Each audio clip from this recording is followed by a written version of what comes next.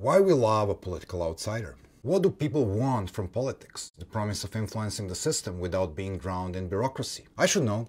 I was a too cool to care rock kid in Belgrade and then found myself at the center of the large nonviolent movement that helped topple the Serbian dictator Slobodan Milosevic. We all want the chance to let the old guard know that they are replaceable. That's why we love a political outsider. And globally, they are on the rise. Smaller UK parties like UKIP, the SNP and the Greens are doing their best to shake the establishment. Internationally, Syriza in Greece, Podemos in Spain, and Beppe Grillo's five-star party in Italy have been challenging the status quo on a larger scale. Take Greece. Although Alexis Tsipras seems like an outsider, if you were watching carefully, he was the obvious choice. The nation was hungry for dramatic change, and it's a feeling that's been rocking countries around the world over the last year. Just think about the Hong Kong protesters or Russell Brand. Who are these people? They are alternatives to the political norm. Public engagement in politics is being changed in a way we haven't seen for decades. Take the Scottish independence referendum. The turnout broke UK voting records because voters had a chance to create a real change. So, how they have done it?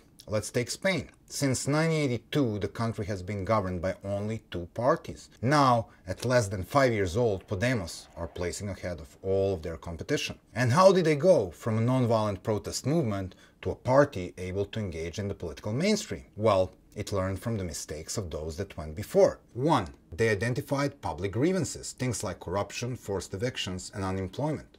2. They elected an educated, respected leader. Three, they built a real grassroots support so that every single neighborhood has its own cell of the party. Elsewhere, there's Camila Vallejo, who was labeled the Chilean Che Guevara. She was elected to the parliament soon after leading the country's famous student movement. Political outsider movements connect us to the political aims that we really believe in. And they come without the baggage you get with many well-established groups. But while this might be the exciting, the question remains. Will these new movements succeed once they enter the halls of power, or they will find themselves unable to shape the system? In some cases, the backlash may have already begun.